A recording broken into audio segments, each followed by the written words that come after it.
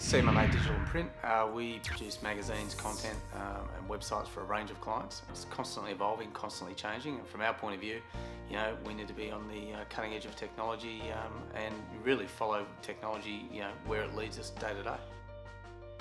You know, I think 50 to 60% of our audience in the future will certainly come in our digital forms.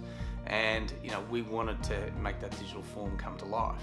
Um, so we were looking in the market for, you know, for a while, um, trying to work out cost efficient ways of getting to the, uh, you know, creating rich video, rich uh, video content. And, you know, having seen this product, seeing the ease that it can be used, um, is certainly something that, you know, we jumped at the, uh, the first chance to, uh, to acquire.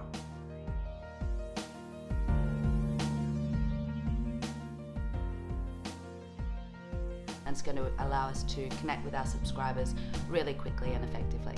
I've got a television background myself, so I was expecting it to be quite difficult and quite intensive and I couldn't believe how easy and simple and straightforward it was and just how the, how good the quality was as well.